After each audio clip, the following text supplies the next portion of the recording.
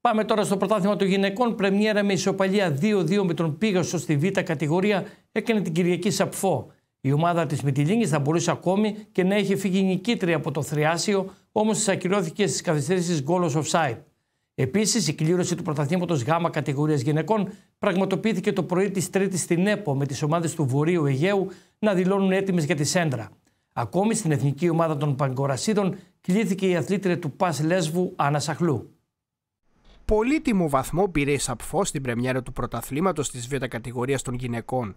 Συγκεκριμένα η ομάδα του Σπύρου Πιπερά αναδείχθηκε ισόπαλη 2-2 εκτός έδρας με τον Πίγασο Θριασίου, δείχνοντας καλά στοιχεία κυρίως στο επιθετικό κομμάτι. Ο Πίγασος Θριασίου άνοιξε το σκορ στην επανάληψη με τη Μαρία Πέπα, όμως η Σαπφό αντέδρασε γρήγορα και ισοφάρισε με την Αναστασία Σιμίνου.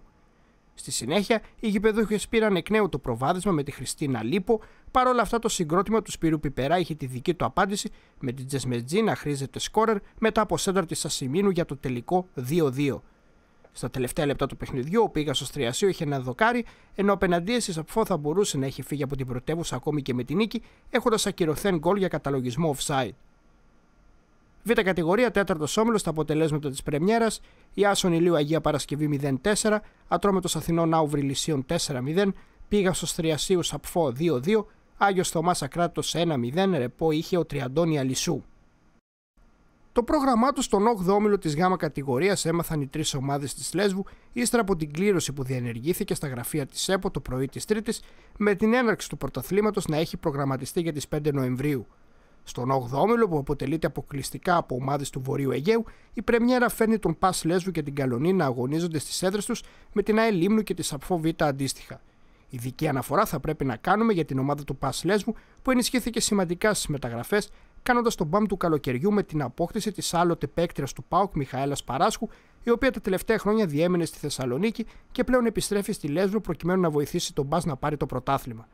Επίσης, στο δυναμικό της ομάδας εντάχθηκαν και οι αδερφές Κατρακάζα που μέχρι πρώτη αγωνίζονταν στη Σαπφό. Επίσης, να πούμε ότι στην αποστολή της Εθνικής Ομάδας Ποδοσφαίρου Προ Κορασίδων κάτω των 15 ετών βρίσκεται η νεαρή ποδοσφαιρίστρια του ΠΑΣ Άννα Σαχλού.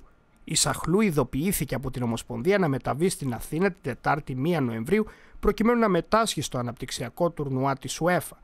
Το τουρνουά θα δεξαχθεί στην Αγγλία τις πρώτες μέρες του Νοεμβρίου. Να τονίσουμε πως η Σαχλού επιλέχθηκε ανάμεσα σε 27 παίκτες για την τελική φάση προεπιλογών των προ από τον προπονητή της εθνικής ομάδας κ. Παπακώστα.